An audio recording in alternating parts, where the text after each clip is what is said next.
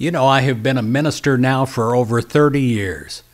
And one thing that I know for certain is there is always a higher and perhaps a different way to think about God. And when you think about God in an ever expansive way, well, that changes you and it changes your concept of God. I ask you to join me today to think of God perhaps in a new way, a way that you haven't thought of before. That God is your best friend. You know, everyone needs a best friend, a person to confide in, a person to to share all things with without reservation. Well, you have it. You have it in God. Having someone to confide in is not only a relief, but it is also a help. A friend is an invaluable asset in life, but may not always be instantly available to us.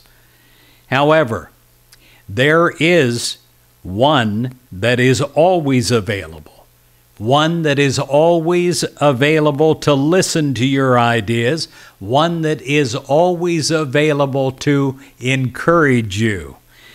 This is your best friend who guides you, guides you with a wisdom that far surpasses anything that you could find anywhere else.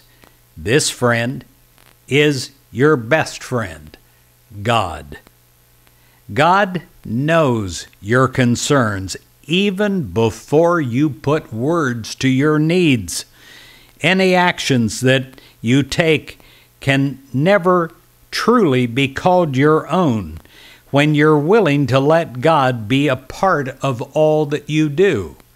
God will show you the direction, but God will also guide you in your direction moment by moment, step by step, and empower you and give you the motivation and the desire to go in the right way.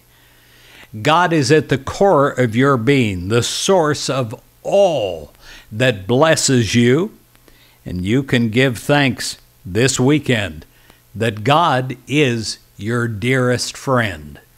Why not take a moment as this video ends to talk to your best friend and allow your best friend to talk with you, to inspire you, to encourage you, because God is waiting to do so right now. May God bless your weekend.